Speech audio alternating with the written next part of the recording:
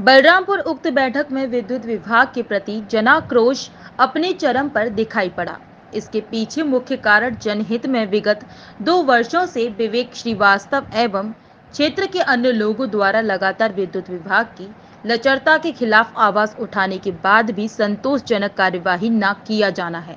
विद्युत विभाग के प्रमुख कर्मचारियों, अधिकारियों, लाइनमैन एवं मंत्री एक लिखित एवं सोशल मीडिया के माध्यम से अनेकों बार संबंधित क्षेत्र की समस्या से अवगत कराने के बाद भी कोई हल नहीं मिला, बल्कि लगातार झूठे वादे मिलते रहे।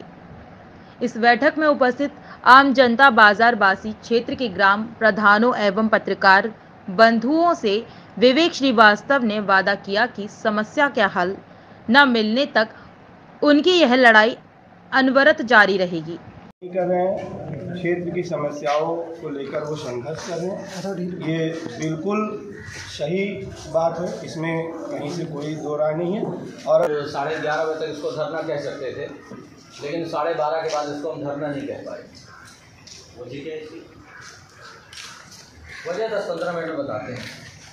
दस मिनट और समझ लीजिए। आप ग्यारह बजे से भी तो बता हाँ। बिल्कुल बता रहे हैं।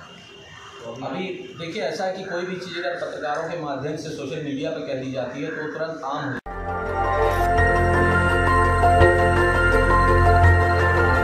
देखते रहिए डीवी भारती समाचार, नज़र हर खबर पर।